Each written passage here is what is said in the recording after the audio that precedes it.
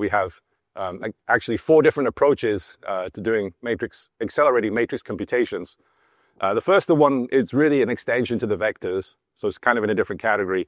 The ZV uh, dot A um, dot product extension that just adds, you can do multiple dot products at once, long dot products in a vector extension. It does add, doesn't add any new state, um, and it's actually very efficient. And for lower capability systems, we think this is going to be very popular uh, approach to get a high throughput improvement.